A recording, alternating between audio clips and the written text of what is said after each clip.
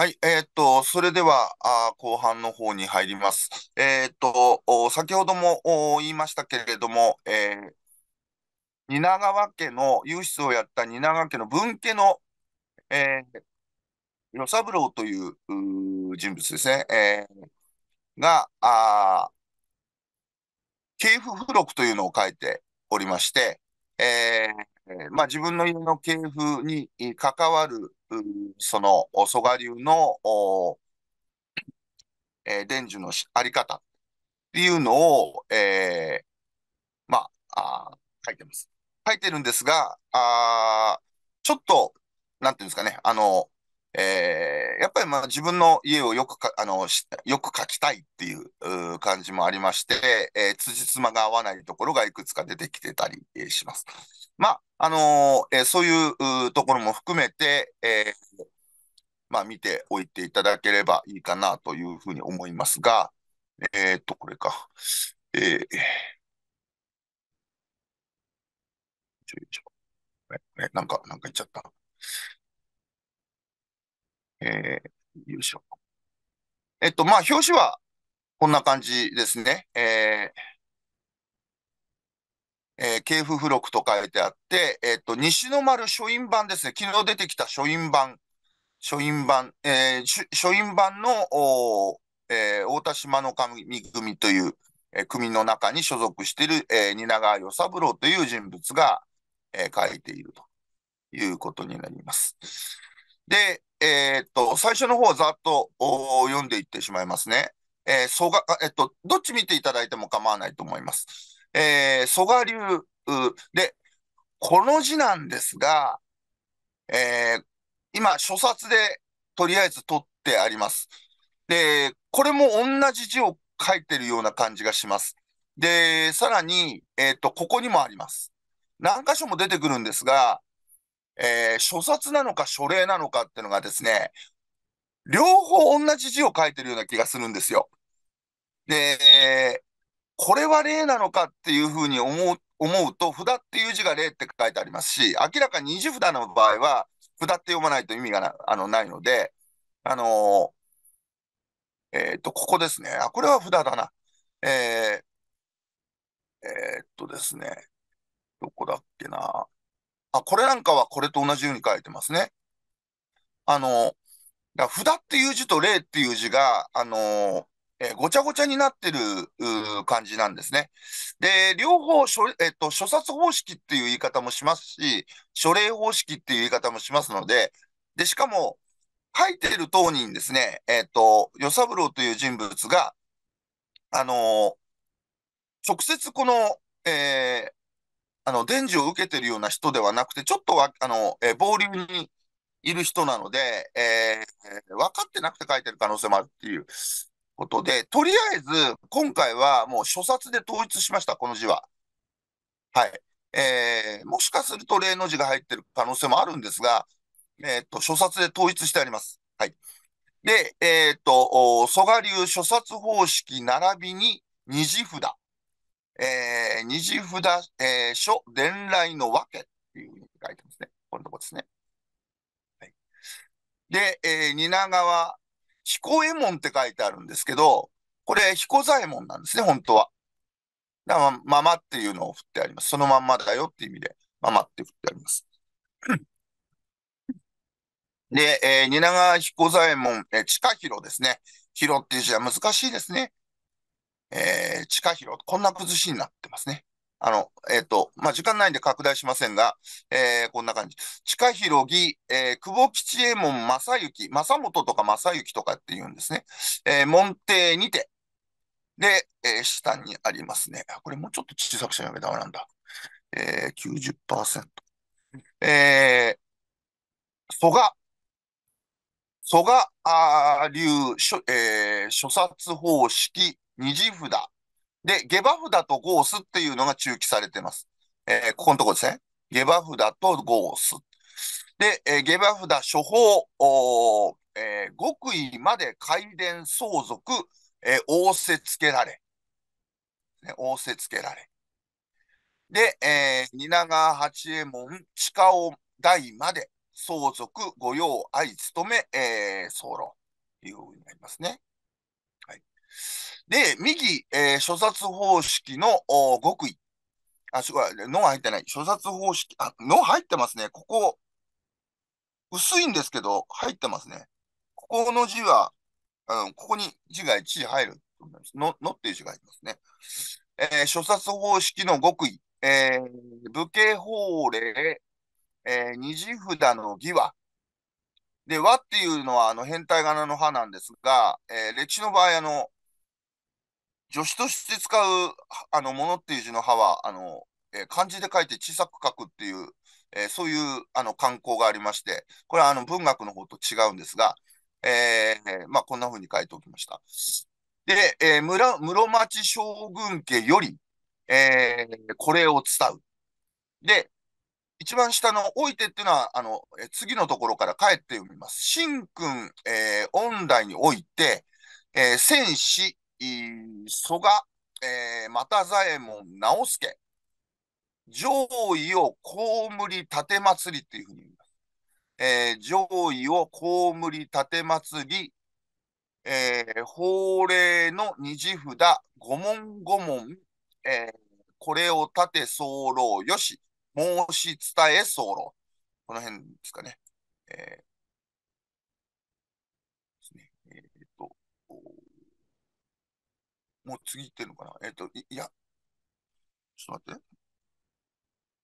まあ、もう伝え候ですね。で、えー、っと、で、一番下の字、そのっていう字です。その、えー、その後、着手、蘇我又右衛門、えー、古助、相続、つかまつり候。そうですね。そう。相続、つかまつり候。で、二次札の第一、えー、本式伝授の儀は、本式伝授の儀は、えー、諸殺方式数年執行、えー、執行の上、えー、その第一を、えー、知り候てっていうふうに来て、次に行きます。えー、執筆つかまつるべきことにござ候。で、最も、ここのとこですね、最も一子相伝にて、えー、他人へ右免許を、情報にござ候と。この辺の書き方もおかしいです。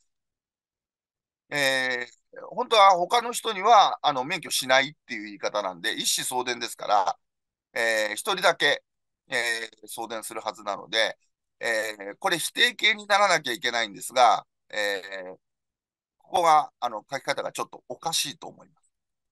で、えっ、と、えっ、と、もし、その世、えー、人、故障これあれそうらえば、門人の、おおえー、内家の、おえー、人、筆跡を移し、えー、伝授、えー、すべき、えー、休養時にござ候って書いてありますね。あの、要するに、あの、えー、一子相伝で、えー、他の人には、あの、伝授しない、一人だけにしか伝授しないっていうことになります。で、もしその、えー、その、その人がですね、その伝授された人が、えー、差し障りが生じてしまった。そしたらば、門人から取るんだと。門人から伝授するんだと。えー、子供じゃなくて門人からも取るんだよっていうのが、え、このところの書き方になります。で、よいしょ。あれ？で、えっ、と、この辺ですね。で、これを、これ、あの、K っていう字が、あの、刑罰の K が入ってますが、これも、あの、5字でして、えー、形っていう字が入ります。形。本来は形っていう字が入ります。これを型伝授と申し候。えー、あの、一子相伝で本来、あの、えー、正当に伝授しなきゃいけないところを、あの、えー、緊急事態がしょあの生じたんで、えー、形だけ、他の人に形だけ伝授するっていう、えー、やり方を型伝授っていう、えー、言い方をします。これは、あ本式の伝授にては、えー、ござなく候。ござなく候というふうに言っております。ここまで、えー、とりあえずざざっと読みました。要するに、えっ、と、え今までのところというのは、蘇我流というのは、あ蘇我直輔から始まって、えー、ずっとですね、えー、久保岸右衛門が、えー、引き継いで、で、えー、その、おえー、蜷川が、えー、蜷川家がですね、えー、それを引き継ぐんだということと、あと何か、えー、事故があった場合には、えー、その一子相伝というふうに言われているけれども、えー、それ以外の人に、えー、型伝授をするという、えー、やり方もあるんだけれども、まあ、それは本式ではないんだよということを言っております。はい。で、こっから、えっ、と、まあ、あの、えちょうどですね、あのえ久保吉右衛門から、え蜷川が、蜷川家が、あその、えー、蘇我流の諸殺令を伝授されるというところの部分になりますが、えー、ちょ、あれしました。あの、ここに、えー、挙げてありますように、えっ、ー、と、あれ？なんか一個ずれてるな。なぜだ？あれ？どっかずれたな。まあいいや。えっ、ー、と、どこがずれたんだろう。普通はこうだよな。まあいいや。あと、あとで見ます。はい。えっ、ー、と、それぞれの色のところにですね、えー、これ絶対、あ、あれだな、違うな。まとまってもんな。えー、それぞれの色、7つあるんですが、えっ、と、人数の関係もあって、えー、あの、6つの班にします。ですので、ここは後で開けます。はい。最後のグレーのところは開けます。で、えー、っと、この青いところ、1グループ目の人たち。で、えー、っと、オレンジって言いますかね。オレンジのところは2グループ目にします。これおそらくここに、ここを貼っつけたいと思うんですが、えー、このクリーム色のところ3グループ目。で、これは何て言うんです？えー、紫かな？えー、この色のところが4グループ目になります。で、えー、黄緑色が5グループ目。で、茶色が6グループ目になります。で、ここは、えー、もう開けてしまいます。で、えっ、ー、と、1グループ4人で、ここの部分、えそれぞれの色の部分、これ、これずれてるともこうだと思うんだけど、おそらく。違うかな？いえ、先生、それなくていいみたいです。これでいいの？あのね、その前の方、前の方、ずっと前の方。あの、これか。2行目。わかった。そうか、うん、ここまで行っちゃったんだ。そうです。そうですね。まさに、はい。こうこういうことですね。はい。はい、あ、バレちゃいましたね。まあいいか。サービス。えー、それぞれの色のところをですね、えっ、ー、と、あの、解読してみてください。で、えー、30分ぐらい時間を差し上げますので、えー、それで頑張って、えー、平均3行から4行ぐらい、えー、読んでみていただきたいと思います。で、あの、えー、皆さん相談してやっていただいて構いません。えー、というか、まあ、相談してやらないとつまらないので、えー、皆さんで相談してやってください。で、後で、えー、みんなで、えー、答え合わせをしたいというふうに思います。はい。えー、っと、それでは、あ皆さん、えー、頑張って、えー、読んでいただいたということで、で、これをですね、ぐまあ、あの、えっ、と、グループで当てていくと、えー、す、すさまじく時間がかかりそうなので、えー、読み進めていきますので、えー、この辺、各割り当てのところがあったら、どんどん声を出していただいて、えー、読んでみてください。あの、えー、声、声を出していただけると、あの、非常にありがたいというふうに思います。で、まずここのとこですね。このとこ。ここは大丈夫そうですかね。えー、太陽光って言うんですね。太陽光。えー、これはあの、えー、将軍の、あの、送りなんですね。隠号ですね。えー、太陽院というのが三代将軍、えー、家光のことでして、えっと、太夫っていうのはこうこういう字を書きます。こういう字。太夫公。えー、太夫公恩大ですね。で、えー、蘇我又左衛門、えー、古助。このところは、あの、間違えて上から書き直してるんですね。どうも。えー、古助。で、えー、上位をというふうに、えー、まず先にこっちを読んで、上位を葬り、立祭り。ね。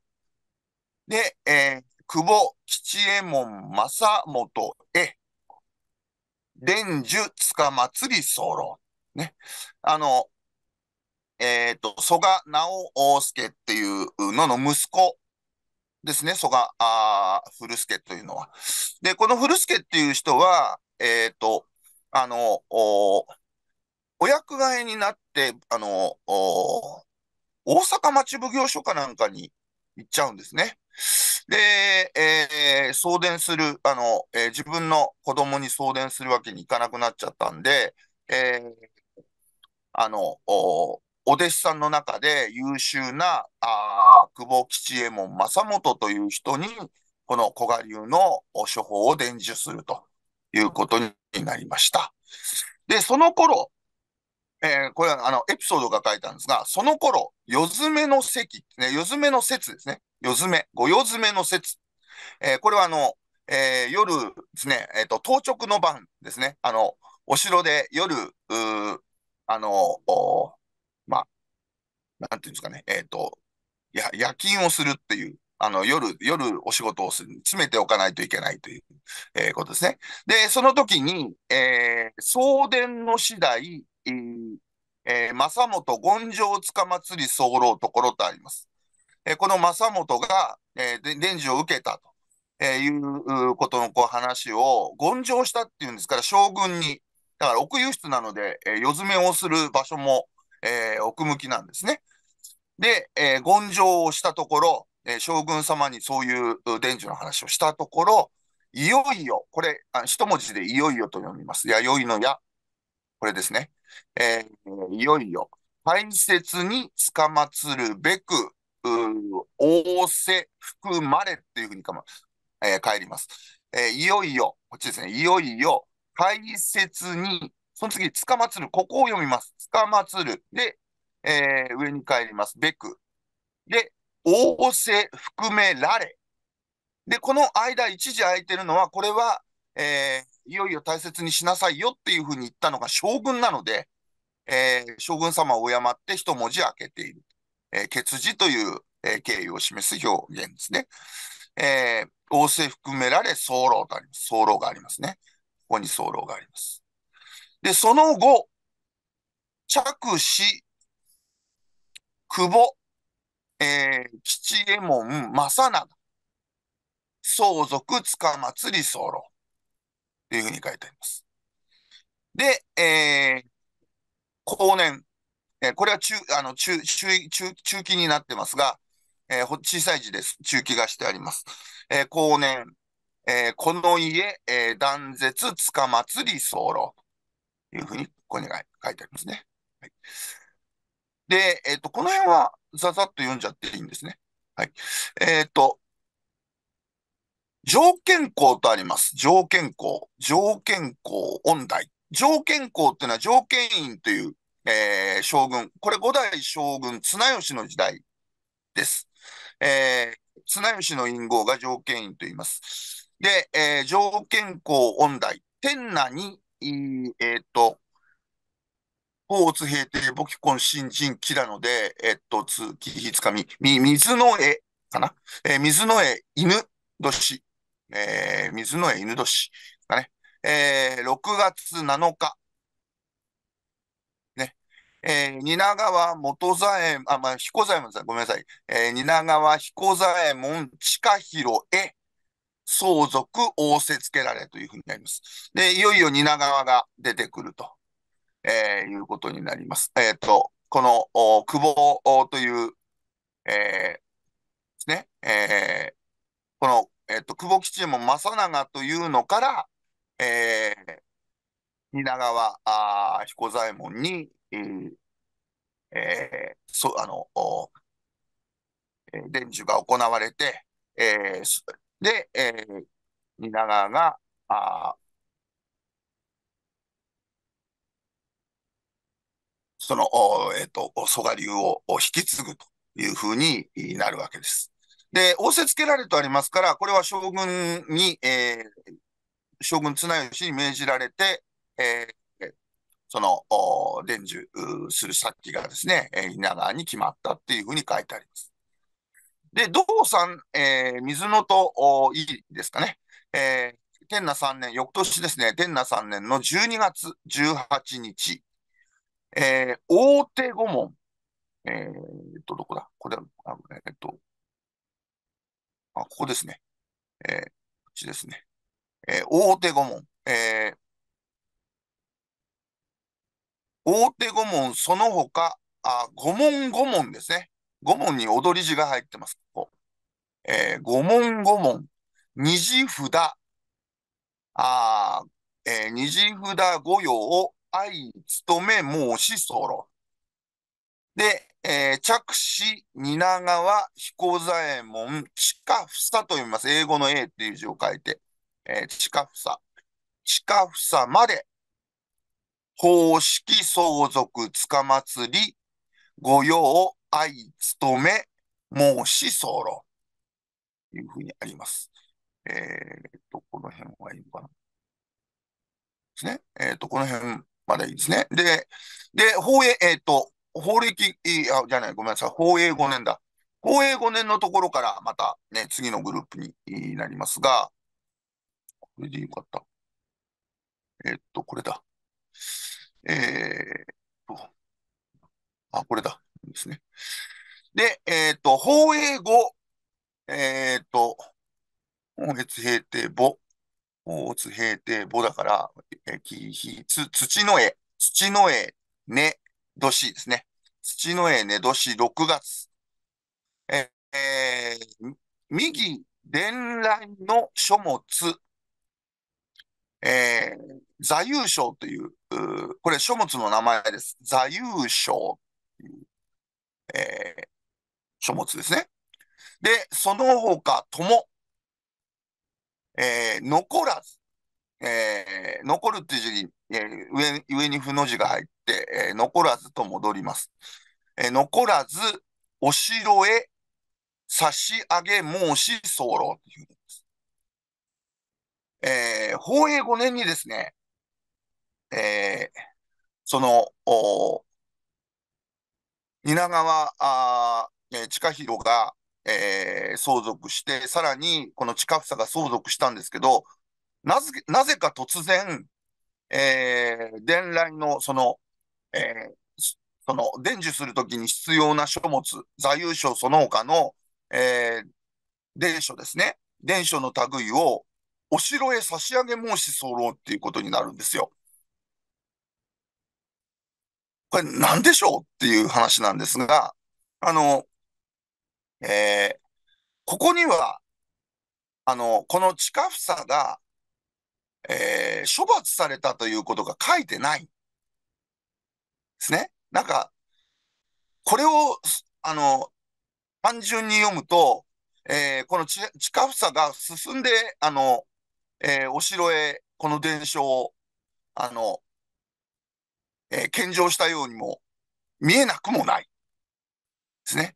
で、実はこの近房というのが、えー、宝永3年の段階で、えーっと、だったかな？えーあ、違う、宝永5年だ。宝永5年の段階で処罰を受けています。で、えっと、この資料を見ると、おわかります。これ、近房です。これ、関西庁首相家府の活字文です。で、これは近房。で、えー、まあ、ずらずらと書いてあって、ここですね。宝永5年6月23日。で、その、務めに応ぜざるにより、拳に落とさるっていうふうにあります。えー要するに、えーこれ処罰されて拳入りを命じられると。拳というのは、これ無役の、おえー旗本のことです。で、えー要するに、えーお役を、えー免職されてしまうっていうことになります。で、この、この、えー、勤めに応ぜざるっていうのは、要するに、まあ、あの、えー、ちゃんとしたあお勤めが果たせていないと。えー、まあ、なんか、あの、えー、支障があったんでしょう。で、えー、それが、あその発覚して、で、拳に落とされてしまったと。で、落とされてしまったんで、えー、もう急にその、えっ、ー、と、処罰を受けたもんですから、えー、その、えー、蘇我流のですね、あの、処方を、えー、伝授するってことができなくて、で、あの、江戸城へですね、えー、この月、仰せによりてって書いてありますから、これはあの将軍から命じられて、えー、伝えきたるところの処方の書籍、ことごとく官に収むというふうに書いてあります。だから、えー、処罰されて、この伝書を取り上げられたっていうことになるわけですね。本当は、えー、こういうふうなあことが起こっているんですが、さっきの、えー、系譜付録のところには、あの、拳に落とされたなんて話は自分の家にとって恥なので、えー、処罰されてですね。えー、そうすると、こういうの書かない。書かないんだけれども、この完成徴収書家譜という幕府が編纂した、えー、系譜、系譜書きにはちゃんと書いてある。で、これ、あの、後で、その、えー、完成徴収書家譜の編集スタッフが調査して、えー、ちゃんとこれ書き入れてるんですね。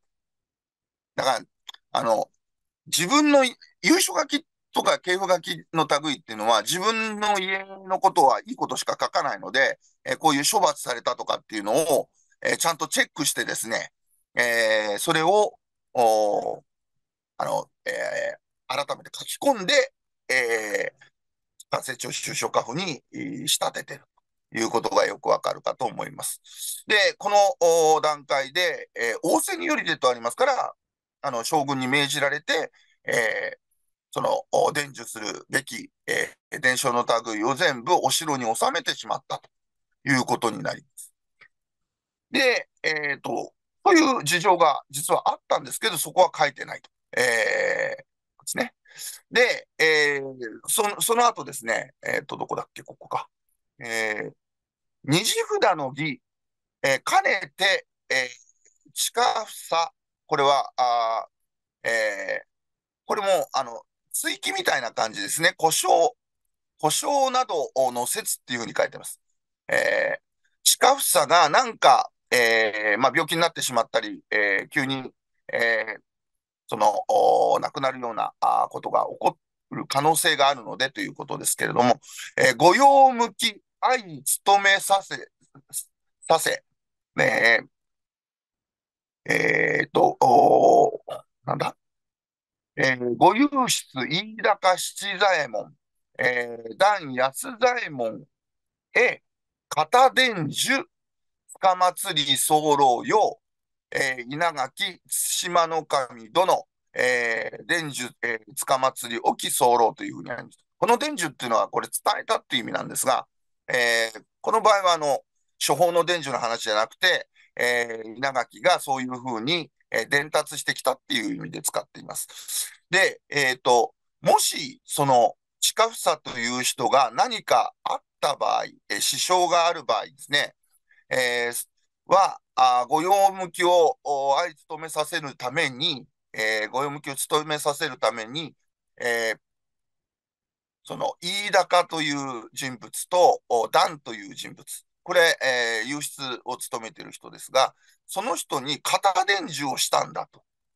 えー、型伝授をするように、えー、稲垣という、えー、上司ですね、えー、が、あの、えー、明示を、命じたというふうに、えー、書いてあります。えー、この辺がですね、あの、えー、一回ここで、あの、お城へ伝書なんかを全部、あの、取り上げられて、えー、その、蜷川市の、えー、戸賀流の処方が一旦断絶するんですけども、そ、そこをなんとかつなげようとしてるんですね、ここのとこ。で、そういうふうに言われてたんだ、あの、えその伝書なんかは取り上げてたんだ、取り上げられてしまったんだけれども、それ以前に型伝授を飯高と段にしてたんだっていう。だから、えー、なんだろう、えっ、ー、と、蜷川としては、えー、直接は取り上げられてしまったんだけど、えー、処方は実は、あの、えー、密かに続いてたんだっていうことを、この辺でこう書こうとしてるわけです。はい。で、えっ、ー、と、で、次のとこいきますね。文章院公音大ときます。文章院公。えー、これは六代将軍の、えー、家信の時代っていうことです。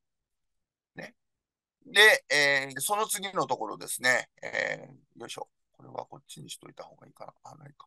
こうだね。えー、ここですね。えー、近房へ二次札伝来の次第。えー、で、その次、下の方行って、お尋ねご座候というのがあります。えー、お尋ねご座候。ね。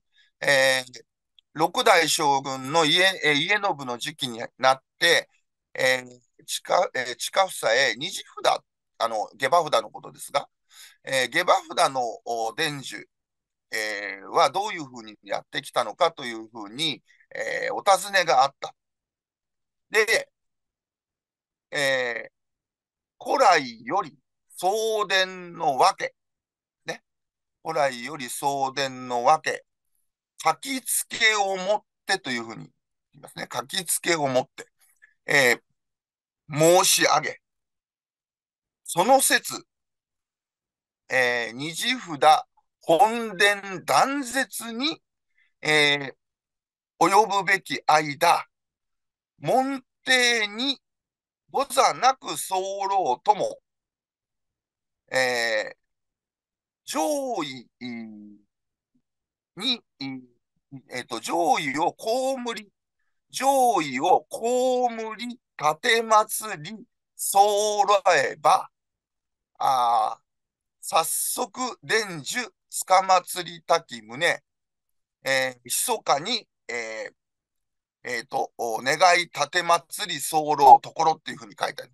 この辺は、あの、裏が取れてない事実関係で、あの、えー、六代将軍になって、えー、この近房という人物に、えー、二次札の伝来を、えー、将軍がお尋ねになったと。で、えー、古来からの伝来の、え、ー、と、ま、あ流れをですね、えー、書面を持って、えー、その書面で、えー、お知らせしたと、伝えたと。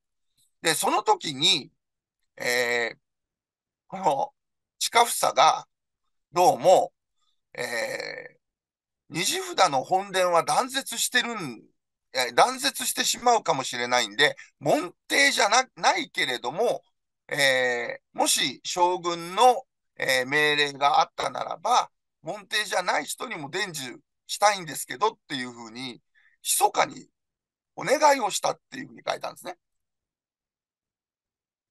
これは、あの、えー、公式の文書の中では全然裏が取れてない事実です。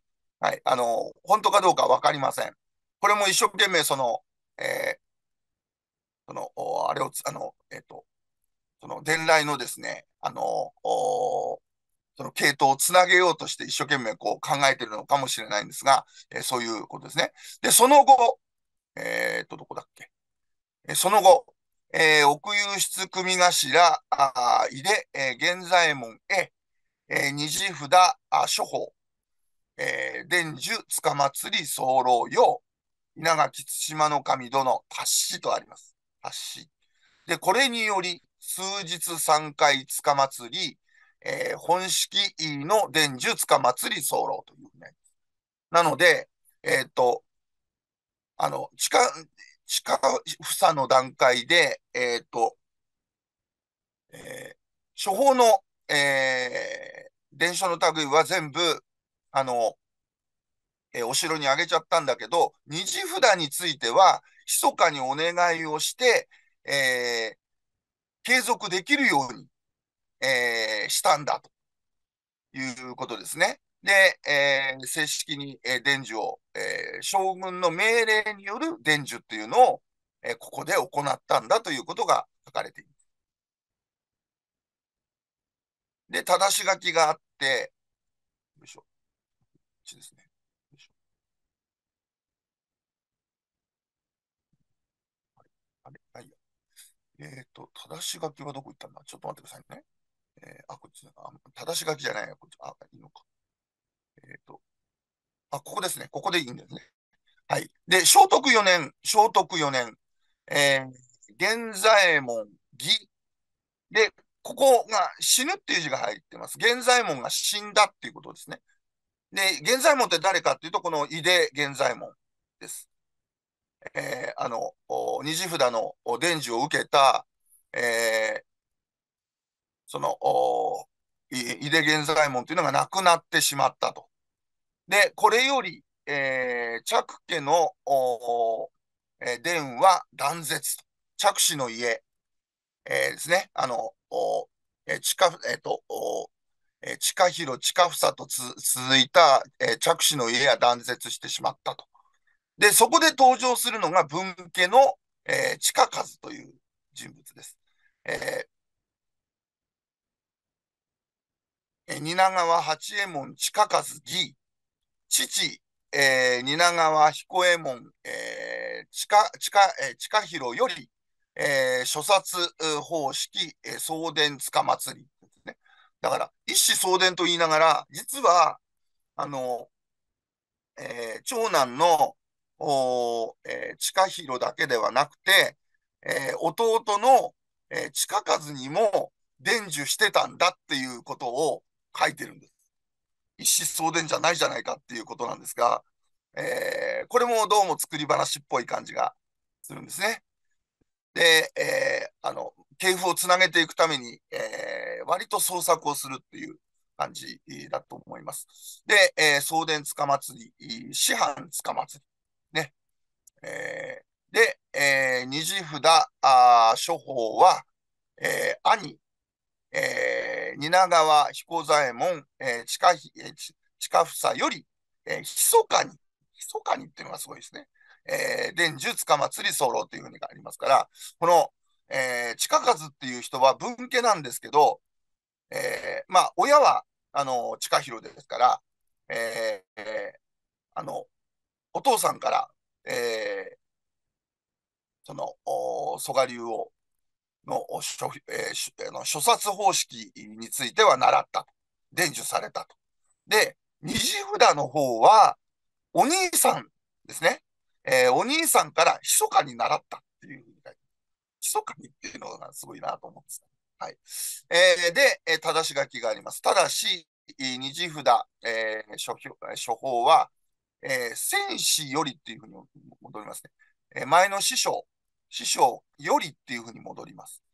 えー、戦士より、一子送電つか祭り来たり候ところ、えー、近房僧侶を幼稚につき、まあ若いので、えー、その近房の長男というのが若いので、えー、もし急病などの説、えー、大切の伝授、えー、乱雑、えー、噴血っていうんですかね、えー、噴血もこれある、えー、これありそうらば、えー、古来より、えー、送電断絶のもとになりと、えー、地下比で、えー、じゃない、えー、地下、地下房だ。地下房、あ存念にて、えー、洗礼に任せ、えー、兼ねて、えー、地下数へ、えー、送電塚祭り沖候というふうに書いてこれ言い訳です。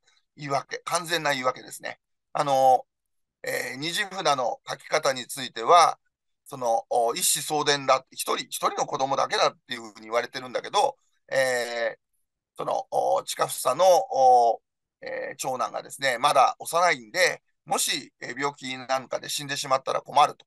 えー、大切の伝授があ取り紛れてしまうと、えー、いうことになると困るので、えー、その送送電が途絶えてしまう元にな原因になってしまう。えー、ということで、えー、その近房は、えー、その洗礼に任せっていうところが、あの、言い訳っぽいところですが、えー、洗礼もあるので、えー、その、弟のですね、えー、近かずに、えー、伝授してたんだ。密かに伝授してたっていうのの言い訳をここに正し書きで書いているということになります。で、えっ、ー、と、次、えっ、ー、と、まだあるんだっけ？えー、ですね。えー、で、その後っていう、じゃないか。えっ、ー、と、正し書きがあって、ごめんなさい。どこがどこだかよくわかんない。文章今終わったな。えー、あ、ここですね。ここですね。えー、で、えー、次のところですね。グリーンのところですね。えっ、ー、と、あ、ここですね。えっ、ー、と、右、えー、諸殺、右諸殺、伝書、座右書、写し。えっ、ー、と、どこだっけ？えっ、と、こっちですね。ここですね。右、えー、諸殺、伝書、えー、座右書、写し。で、座右書っていうのは、えっ、と、えー、和漢霊教という別、別のタイトルがあるんだそうです。えー、と、ゴースというふうに書いてます。えー、和漢霊教とゴース。で、えー、諸事つかまつり、えー、二次札、あ処方も密かに伝授、まかりあり候義とも、えー、文章庫、条文に達しっていうふうに書いてますね。えー、その地下数が、えー、これ、写しを持ってるって話なんですね。座右書、写しって書いてますね。えー、そのお城にあげた座右書の写しが密かにあったんだ。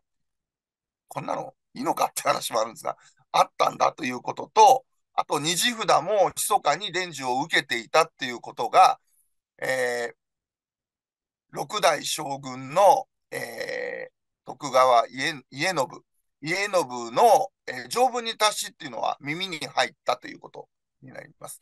えー、そういう情報が入ったんで、聖徳2年、ね、えー、聖徳2年に、えー、下馬札、下上札の儀は、儀並びにかな、えー、儀並びに、えー、伝書のうち、数箇条、おお尋ねござ候ところ。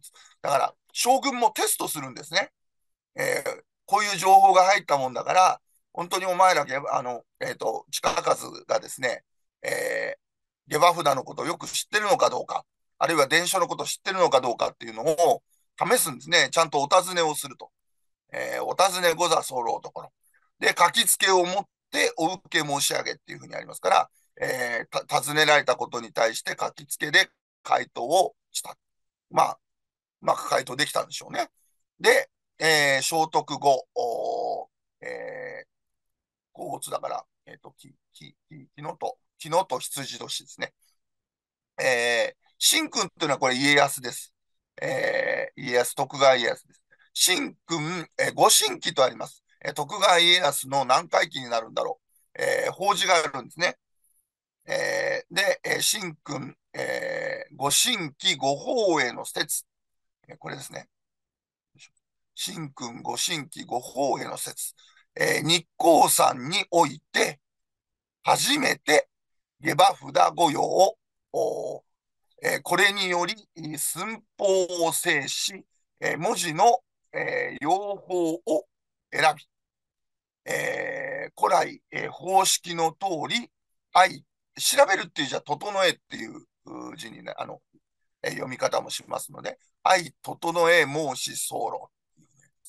えー、聖徳5年に、えー、家康の、まあ、法営、あの、えー、法要が、えー、行われたときに、日光山でですね、日光山で家康の法要が行われたときに、えー、ちゃんと下馬札を、えー、御用を務めて、ちゃんとした、えー、下馬札を、えー、作って、えー、古来の方式の通りに、えー、その下馬札を、えー、作ることができた。で、えー、それにより、ね、それにより、ね、ここのところですね、それにより、えー、二次札御用を、よいしょ、これはこっちになりますね。えー、二次札御用、愛務め候。だから、えー、この地下数という人が、その、おすみません、ちょっと、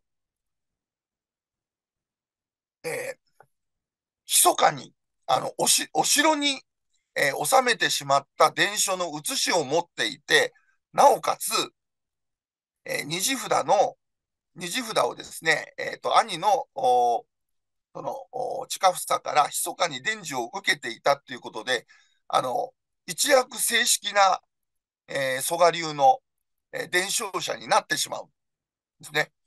えーこれは、あの、ちょっと話ができすぎていて、えっと、こういう歴史の人はですね、あの、優書書きとか、えーこういう系譜書きでこういうふうに書いてあると、えーちょっと、これは嘘っぽいなっていうふうに思うんですね。あのーえーやはりあの書き手が、あの割と自分の家のことを誇張して書くとか、えー悪いことは書かないとか、えーそういうことをしますので、ちょっとこう、えー眉毛に唾をつけてですね、えあの、読むようになるんですが、ちょっとこの辺の話も嘘っぽいなっていうふうな、え感じがします。で、えー、地下数、用紙、地下、えー諸札とお二次札、あ極意まで、えー相続、捕まつり、師範、捕まつり、候とあります。だから、地下数の息,、えー息子の地下を、えーに、えー無事に、えー伝授が行われる。で、えっ、と、原文5年ですね。こっちですね。ここですね。えー原文語、カノエも、えっ、と、カノエ猿か。カノエ猿年8月、え東映山、えー、作家門ですかね。えー、二次札御用を初めて仰せつけられ、えーそれよりところどころ御用相務め候。で、えー法暦6年ね。えー日の絵根ですかね。えーえーと、ね、年、正月、えー奥輸出組頭、橋本手八郎、えー高近って書いてありますが、あの、えっ、と、このち、この近いっていうふうに書いてあるのは、えっ、と、括弧のところに、あの、周囲の周という字を書いてありますが、あの、えっ、と、本当はあの、括弧の中の周囲の周っていう字を書く人が、えー伝授され、あの、伝授されてるんですけど、あの、これお父さんの名前を書き間違えて入れてるんですね、高近。えーいう、女同じだっていうのもあるんですが、えーあの、これお父さんの名前になります。で、えっ、と、高近へ二次札処方伝術か祭りですね。で、えー諸札伝書は、あ地下をより、えー着手、えー、蜷川善九郎、えー近吉へ、えー送伝つか祭り候なんていうふうに書いてあります。で、ここも、あの、処罰されてるっていうことを書いてないんですね。この近尾っていう人も、実は処罰されてるんです。なもんですから、えっ、と、二次札の、その伝授っていうのを別の人に、えーするということで、橋本が選ばれて、えー二次札の処方を伝授してもらっています。あの、罰せられたってことは書いてないですね。はい。で、えっ、と、ここからは、ここからはもうあれはないのかな。えーあ、ないですね。えっ、と、そういうことになります。で、天明3年になりますが、えっ、と、あ、21時31分。あ、もう、もう時間ですね。えっ、と、天明3年、えーこっち、こっちを見ましょうか。じゃあ、えーよいしょ。えっ、と、天明3年のお8月9日、橋本喜八郎より、えー近吉へ、えー二次札処方伝授をおせつけ、おせ渡されてあり。だから、一回橋本のところに行ったやつが、えーこの近吉のところに、えー戻ってくる。でね。で、えー当時御用愛務め候。で、えっ、と、えー文家の地下数は、あ諸札の伝書の座優勝を、えー、地下、えー地下をへ伝,、えー伝授してある。送伝、えー送伝したということですね。で、えっ、と、明和7年に、いーえー、ご、えー御用、御用向き、えー見合わせっていうふうにあります。御用向きの参考のために、えー水野出羽の神に、えー水野出羽の神が見たいというふうに言ったので、えー奥輸出組頭の臼井という人物を通して、えーその、えっ、と、この、おえっ、と、座優賞ですかね。座優賞を見せたえー、で、そしたら注釈をしろっていうふうに言われたので、で、これ松平越中の神っていうのは松平定信のことです。えー、その、完成5年に松平定信から注釈し注釈をつけろというふうに言われたんで、それもやったというふうに書いてあります。で、さらに、えっ、ー、と、えー、はん、えっ、ー、と、犯行本今川城を持っているいうような話ですね。で、えー、これも、近数が享保6年に、えー、将軍へ、将軍、この時の将軍、えー、祐徳院っていうのは、えっ、ー、と、あれですね、あの、八代将軍の徳川吉宗ですけども、えー、吉宗にの上覧を受けた。えー、で、その、この暗号本の今川城は今も持っているよっていうようなことが書いてあります。で、もう一つ、えっ、ー、と、大手話章という、えー、九十要略というような別名もあります。で、この書物も所持していると。で、この書物については、あ近尾が延享4年に、えーえー、これは、あの、桃園院というのは、これは桃園天皇ですが、えー、桃園天皇が即位するときに、えー、大正営っていうのがあったんですかね。えー、で、その時に、えー、純信仰とあります。えっ、ー、と、えっ、ー、と、旧大将軍家重だったかな。えー、純信仰に、えー、えー、旧大将軍の家,、えーと、家重に、が見たいと、参考のために見たいということになって、上覧を受けた。で、その本も今も持っているよというようなことが書いてあります。えー、要するに、この辺のところ、最後のところは、まあ、あの、えー、いろんな、その書物だとか、えー、いろんなこうこう処方に関する、えー、知識だとか、えー、そういったものを、えー、い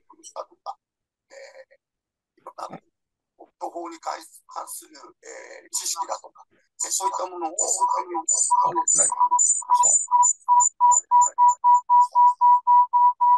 なんか太田先生の声がちょっと大丈夫でしょうかね？ななんかど、どうしたんでしょうね？あ、い大丈夫ですか？今、今、今共有ところはい、今聞こえます。はい。じゃあ、一回もう、もう一回戻します。最最後のところですね。えっ、ー、と、えそういう知識だとかですね、えっ、ー、と、書物を将軍とか、えー、にですね、ちゃんと、えー、見せていて、まあ、そういう由緒も持っているんだよということを、おかしいですね、やっぱり。